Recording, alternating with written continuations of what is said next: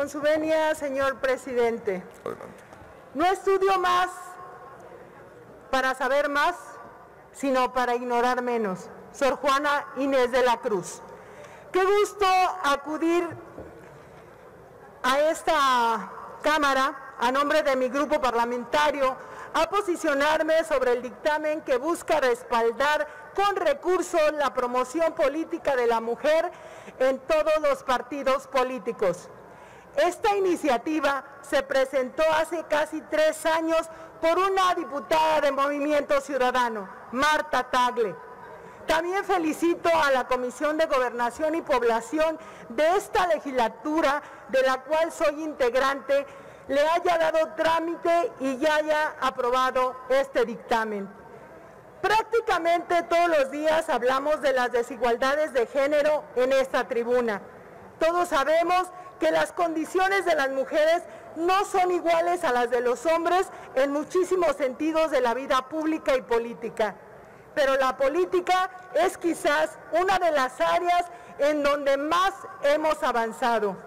Hoy tenemos representación paritaria en esta Cámara y aunque falta nuestro acceso a la toma de decisiones, por lo menos estamos representadas en igual condición que la de los hombres. Hoy tengo la oportunidad de hablar desde la máxima tribuna del país, siendo parte de una bancada que apuesta por la igualdad, que cree en las mujeres y nos apoya a participar en igualdad de circunstancias. Estoy consciente que mi participación en esta tribuna descansa sobre el legado de las legisladoras que me predecedieron. Descansa en las decisiones del Tribunal Electoral que fueron garantizando que la paridad contara con condiciones reales para desarrollarse. Hoy es una realidad en la representación, pero lo cierto es que al interior de los partidos la igualdad sigue sin estar respaldada por recursos suficientes.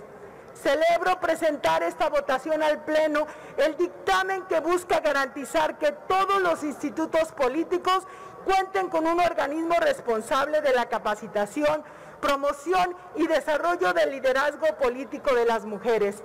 Este organismo debe contar con una autonomía técnica y administrativa y ejercerá un presupuesto de entre el 3 y el 10% del financiamiento público ordinario.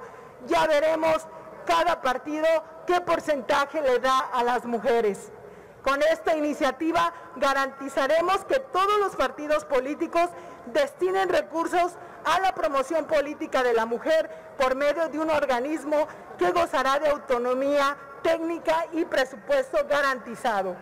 Esto va a lograr que nunca más las mujeres dependamos de las cúpulas partidarias para poder desarrollarnos. Con el voto de todas y todos ustedes, hoy esta convicción de movimiento ciudadano puede ser una ley para que todos los partidos políticos garanticen nuestro derecho de participar en la política. La aprobación de esta ley será una muy buena noticia para las mujeres, pero también para las niñas que mañana querrán participar en la vida pública de su país. Esta ley será una barrera menos que tendrán que enfrentar. Los convoco a todas y todos a que voten y que seamos más libres las mujeres de ejercer el derecho de hacer política en nuestro país. Muchas gracias.